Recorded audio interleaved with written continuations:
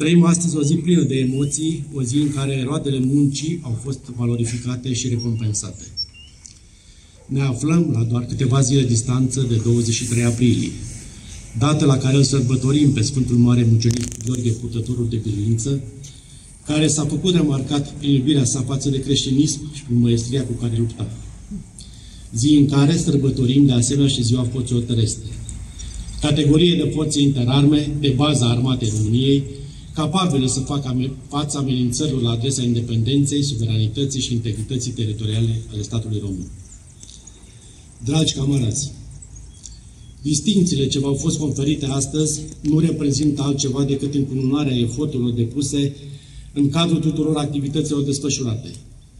Voi reprezentați un bun exemplu de urmat pentru colegi și aveți datoria de a transmite generațiilor viitoare cunoștințele și experiența dobândită, asigurându-ne astfel că cei ce le vor urma își vor desfășura activitatea cu același profesionalism.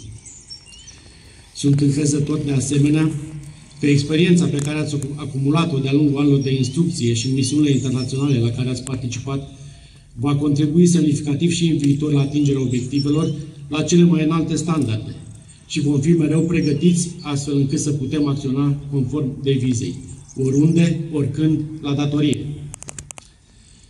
Doresc să-l felicit de asemenea și pe domnul dr. Cristian Mureșan, reprezentantul Fundației Vilas, un iubitor al valorilor naționale și un adevărat sprijin pentru comunitatea bistițeană, căruia însemn de apreciere pentru contribuția sa deosebită în susținerea activităților flotului Invictus, domnul general Daniel Petrescu, șeful statului major al, al apărării, a conferit emblema de merit partener pentru apărare clasa a doua. Domnule doctor, vă mulțumim pentru sprijinul noastră și vă asigur de întreaga noastră considerație.